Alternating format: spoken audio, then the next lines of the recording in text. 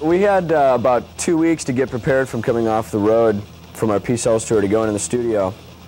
So we brought in Chuck Behler, who we had known for about a year, and we just like threw him in a studio real quick and said, learn these songs and let's go. So like two weeks later, we were in the studio recording all the, the, the new drum tracks and everything.